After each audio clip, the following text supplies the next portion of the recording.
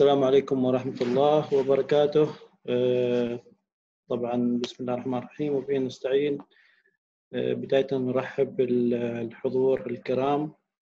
ونتمنى لهم قضاء وقت مفيد إن شاء الله. عبر هذه المحاضرة البسيطة عن كلية عمان البحرية الدولية وبرامجها. وفي الحقيقة لا يسعنا إلا أن نشكر شركة انفينيتي على هذه المبادرة الطيبة والقيمة في إقامة هذا المعرض وإتاحة الفرصة لنا ولأبنائنا الطلبة خريجي دبلوم التعليم العام للتعرف على البرامج الأكاديمية المختلفة المتاحة في داخل السلطنة عبر مؤسسات التعليم العالي الخاصة. كما نشكر في الحقيقة وزارة التعليم العالي لجهودها ودعمها لهذا المعرض الافتراضي الأول من نوعه الذي يعتبر طبعا في السلطنة. ولا شك أنها إن شاء الله تكون تجربة جيدة وناجحة. طبعا باختصار إحنا بنتكلم عن كلية عمان البحرية الدولية تأسست في 2005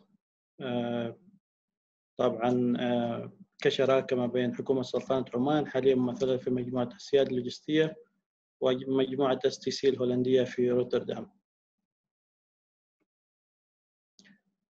طبعا ما يميز الكلية النهج التعليمي الفريد طبعا مميز الذي يرتكز على ثلاث محاور أساسية الدراسة النظرية أجهزة المحاكاة والتدريب العملي طبعا الطالب طلابنا اللي موجودين يمروا بتجربة فريدة من نوعها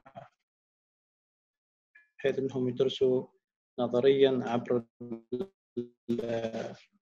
التعلم الصفي ومن ثم تطبيق ما تعلموا على أجهزة المحاكاة الموجودة التي استثمرت فيها. ذلك يذهبوا إلى التدريب العملي سواء على ظهر السفن التجارية أو اللوجستيات في في شركات اللوجستية أو في شركات الصناعات التحويلية. الكلية تقدم أربع برامج لمرحله لشهادة الدبلوم ودرجه البكالوريوس طبعا الملاحة البحرية، الهندسة البحرية، إدارة اللوجستيات والنقل والهندسة التحويلية. مما لا شك فيه إن هذه البرامج هي عصب الاقتصاد حاليا طبعا كلها تصب في عصب الاقتصاد. وتمثل إن شاء الله راح تكون تمثل يعني بتمثل إن شاء الله يعني نقلة اقتصادية للبلد شروط القبول طبعا للنفقة الخاصة. الحصول على دبلوم التعليم العام الصف الثاني عشر وما يعادلها وأن يكون متقدم قد درس اللغة الإنجليزية والرياضيات.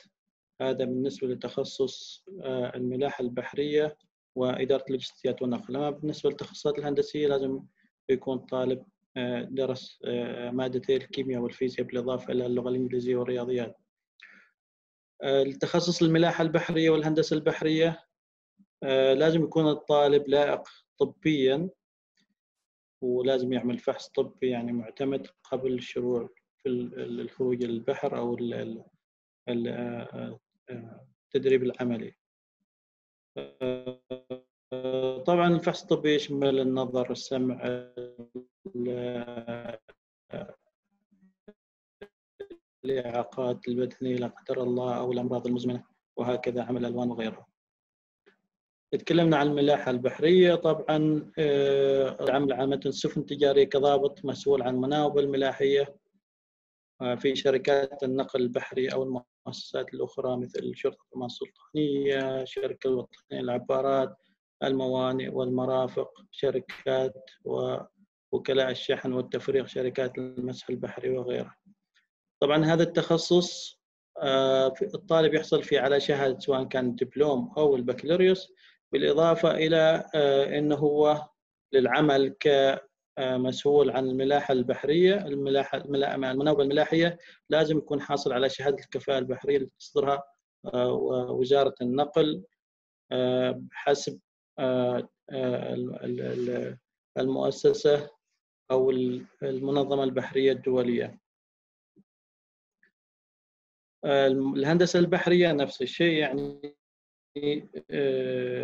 ضابط السطح يكون مسؤول عن الملاحة البحرية والسلامة أما المهندس البحري أو ضابط يكون مسؤول عن المناوبة الهندسية والعمل يكون مثل ما هو في الملاحة البحرية البحرية خفر السواحل عندنا شركة الوطنية للعبارات بينما يعني عنده فرص شوية أكبر للعمل في اليابسة في ورش إصلاح السفن وشركات الشركات حتى في الشركات الهندسية المختلفة والحوض الجاف.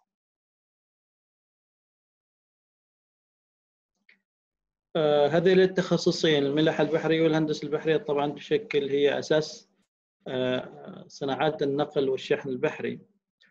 نقل البحر النقل والشحن البحري هو الانتقال الملموس للسلعة من نقطة إلى أخرى ونقل بضائع من ميناء إلى ميناء. طبعا هذا بشكل مبسط. العمل في هذا القطاع به يعني مميزات عديدة منها الحصول على أجور جيدة مسؤولية وقيادة مبكرة فرص للسفر والمغامرة آفاق جيدة على المدى الطويل المرونة المهنية والأمن الوظيفي عطل طويلة ومهنة مختلفة ومرموقة. طبعا وفقا لدراسة الغرفة غرفة الشحن الدولية 90% من البضائع حول العالم تنقل عن طريق السفن أو عن طريق البحر.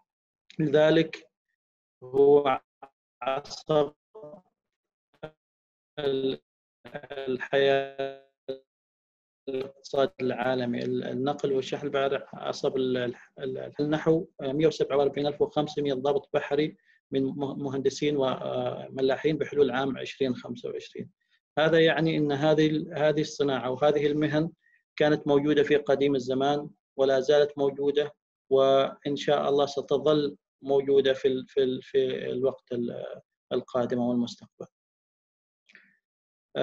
تخصص إدارة اللوجستيات والنقل هو يعني الخريج بعد التخصص بإمكانه العمل في مجال اللوجستيات وسلسلة الخدمات اللوجستية مثل صناعة متعلقة بالمواني المطارات الجمارك والشركات اللوجستية طيب إيش هو اللوجستيات؟ اللوجستيات هو التخطيط والتنفيذ والتحكم في التدفق الفعال الصلة من نقطة المنشأ إلى نقطة الاستهلاك من أجل تلبية متطلبات العملاء. يعني هو توفير السلع والخدمات للعميل أو الشركة في في في الوقت المناسب وبالسعر المناسب وفي المكان المناسب. لماذا العمل في اللوجستيات؟ أيضا هناك عدة ميزات. طبعا خدمات لوجستية ضرورية للبلد العديد من الجوانب المستوردة توفر دائما فرص وساعات العمل مرنة تمكنك المهنة من إنشاء شبكات تواصل جيدة مع العملاء المحليين والدوليين ونادرا ما تكون هالوظيفة مملة وظيفة غير روتينية مثيرة للاهتمام. تخصصنا الرابع وهو الهندسة التحويلية. طبعا يصبح الخريج مؤهلا للعمل كمشغل عمليات أو مهندس في الصناعات المختلفة مثل استكشاف النفط إنتاج النفط والغاز بتروكيماويات مصافي تكرير النفط الصناعات الكيميائية محطات توليد الطاقة محطات توليد الطاقة المتجددة المياه ومعالجة نفط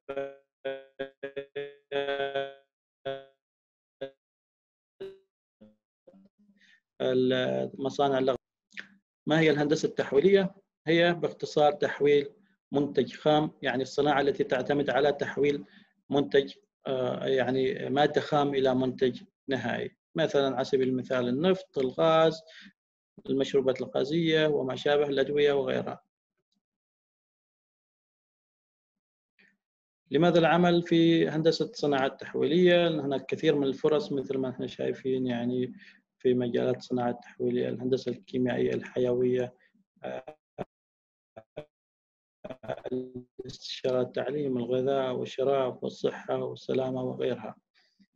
آه، هناك أجور مرتفعة بلا شك أمن وظيفي ومستقبل مشرق للغاية صناعات ذات طلب متزايد ومتسارع والتي تعد هي عصب مثل ما قلنا الاقتصاد العالمي. هيكلة البرامج ومدة الدراسة طبعا آه، جميع البرامج آه، للبكالوريوس فمدة الدراسة بعد البرنامج بعد البرنامج التأسيسي بيكون أربع سنوات للحصول على البكالوريوس.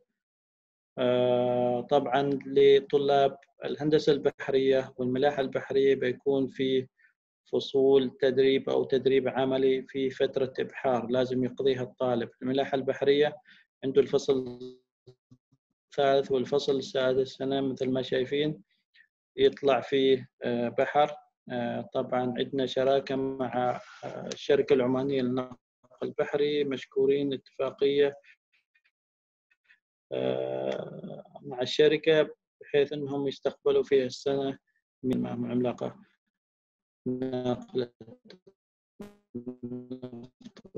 الغاز وغيرها. فالملاح البحري أو ضابط سطح يتدرب لابد أن طبعا ممكن هو يخلص الدراسة وبعده ما أكمل آه، فترة الإبحار هذه فترة الإبحار هذه مطلوبة للحصول على شهادة الكفاءة البحرية اللي تكلمنا عنها.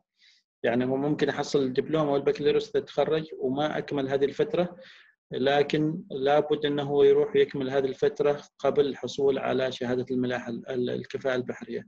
شهادة الكفاءة البحرية طبعا فيها آه، لا يعني لا يتم الحصول عليها تلقائيا وإنما بعد التخرج يجب على الطالب الذهاب إلى وزارة النقل وتقديم طلب للحصول على هذه الشهادة ومن ثم يوجد هناك اختبار لكفاءة هذا الهدف.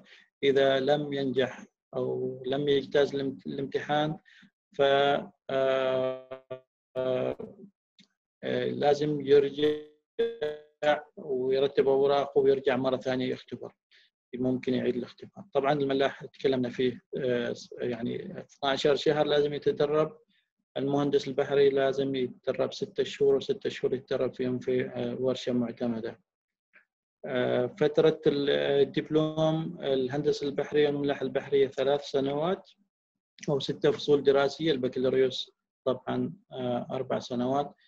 إدارة اللوجستيات والنقل عندنا تدريب في الفصل الخامس أو هو الفصل الأول من مرحلة البكالوريوس والفصل الثامن.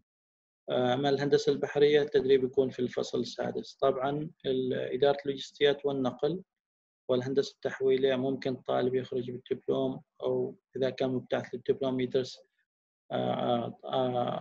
أربع فصول أو سنتين آه، بعد اجتياز البرنامج التأسيسي العام. التسهيلات والخدمات طبعا الكل يتوفر سكن فيها مكتبة في مطعم محل تسوق عيادة مسرح إرشاد طلابي آه، توجيه مهني في عندنا إرشاد أكاديمي في صالة رياضية آه، متكاملة فيها جيم فيها ملاعب داخلية وفي ملاعب خارجية وغيرها. آه، الكل يتكلم أنها تعتمد على الدراسة النظرية والمحاكاة والتدريب العملي لكل برنامج من هالبرامج الأربعة في يعني محاكيات فريدة من نوعها. آه، مثل عندنا آه، محاكاة دراسة البحرية غرفة قيادة السفينة آه، محرك سفينة البضائع الاتصالات مناولات الشحنات السائله اللوجستيات عندنا آه، إدارة اللوجستيات والنقل محاكي سلسلة النقل الهندسة التحويلية عندنا آه، محاكي العمليات التحويلية التدريب على أجهزة العمليات التحويلية معامل التصنيع والمحاكي الديناميكية. طبعا الكل يحصل على شهاده ايزو 9001 من مؤسسة ClassNK اليابانية برامج الملاحة البحرية والهندسة البحرية معتمدة من قبل وزارة النقل والاتصالات. طبعا اتفاقا مع طلبات المنظمة البحرية الدولية ومعايير STCW برنامج ذات اللوجستيات والنقل معتمد من قبل معهد تشارترد البريطاني للخدمات اللوجستية. وكذلك عندنا اعتماد لبرامج الملاحة البحرية والهندسة البحرية من المفوضية الأوروبية. طبعا آه، لأن الكلية فريدة من نوعها فعندنا مختلف دول. طبعا من من دول الخليج بلا شك. عندنا من باكستان الهند بنغلاديش كازاخستان مصر الأردن آه، المغرب آه، جزر القمر من نيجيريا والكاميرون والدنمارك. وغيرها آه، طبعا هذه صورة للكلية. آه، فيها مثل ما تشوف المطعم الورش مبنى الورش مبنى المحاكيات في مجمع رياضي في هنا سكن طلاب نحن طبعا قريبين أو متاخمين لمنطقة ميناء الصحار الصناعي. اللي يسأل عن آه، مكان الكلية. طبعا في أسئلة شائعه كانت وردت عبر استفسارات الطلاب من خلال وسائل التواصل الاجتماعي ومن خلال آه، موقع الكلية. آه، بخصوص السكن طبعا الكلية توفر سكن للطلاب الذكور داخل حرم الكلية أما الإناث ففي سكن مع متعاقد خارج حرم الكلية. آه، مصروف شهري الكلية طبعا كلية خاصة ما توفر مصروف شهري. ولكن أبناء الضمان الاجتماعي آه، يكون لهم مصروف من آه، وزارة التعليم العالي. وهذه السنة بالخصوص يعني آه، الكلية بادرت بتوفير للطلبة الجدد طبعا المقبلين على نظام الكلية اللي هم من برامج الاس 003 وبرنامج الدخل محدود يعني والضمان الاجتماعي. الجدد راح يصرف لهم 40 ريال شهريا آه، من الكلية. آه، ليس عن شهادة ال IELTS طبعا الكلية آه، مو من شروطها أنها تأخذ شهادة الآيلس نعم طالب ممكن يدخل الكلية بدون ما يحصل على شهادة الآيلس إذا كان هو عنده مهارة في اللغة الإنجليزية ويجتاز امتحانات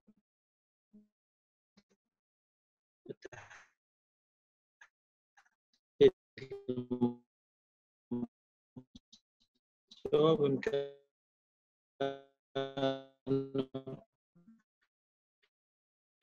يعدي اللغة الإنجليزية. كذلك بإمكانه يعدي الرياضيات وتقنية المعلومات. هذه ثلاث مواد تدرس في البرنامج تضمن وظيفة فيها وقت. تعليم تخصصات الكلية. كبيرة ومتاحة بشكل كبير. في ناس كانوا يسألوا عن معدل تنافس البعثات واشتراطات البعثات وكيف أنا أحصل على بعثة وهل أنا مقبول وكم آه، المعدل وكذا. طبعا هذه آه، مش من اختصاص الكلية هي من اختصاص وزارة التعليم العالي ومركز القبول الموحد هم اللي وضع الشروط والطالب اللي يريد يحصل على بعثة لازم يلتزم بهذه الشروط. هذه طبعا الأسئلة شائعة كل المحاضرة هذه والبرزنتيشن كان أتمنى يكون كان خفيف وبسيط. آه، طبعا هذه حساباتنا على آه، السوشيال ميديا اللي حاب يتابعنا ويعرف عن الكلية.